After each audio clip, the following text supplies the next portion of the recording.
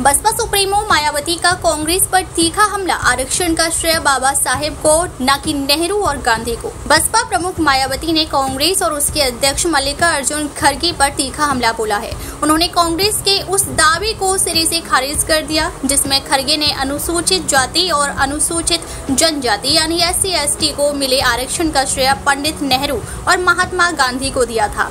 मायावती ने इसे कांग्रेस का झूठा करार दिया और कहा कि एस सी को आरक्षण का पूरा श्रेय केवल बाबा साहिब भीमराव अंबेडकर को जाता है, न कि नेहरू और गांधी जी को।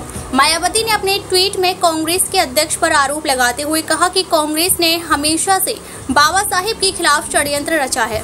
उन्होंने बताया कि कांग्रेस ने न केवल बाबा साहेब को संविधान सभा में जाने से रोका, बल्कि उन्हें कानून मंत्री पद से इस्तीफा देने के लिए भी मजबूर किया। बसपा सुप्रीमो ने यह भी आरोप लगाया कि Congress S C S T उपवर्गीकरण यानी सब क्लासिफिकेशन के पक्ष में है और क्रीमी लेयर को लेकर गोलमोल बातें कर रही है।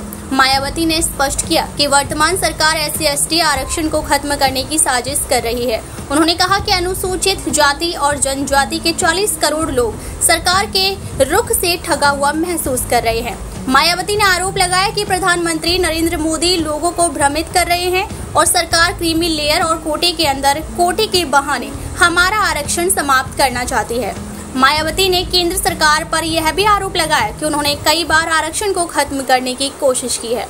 सुप्रीम कोर्ट के फैसले के बाद राज्य सरकारें अपने हिसाब से आरक्षण देने का अधिकार रखती हैं। जिससे दलितों का आरक्षण खत्म हो सकता है। उन्होंने अपने समाज के सभी सांसदों और विधायकों से इस स्थिति से निपटने के लिए एकजुट होने का आह्वान किया।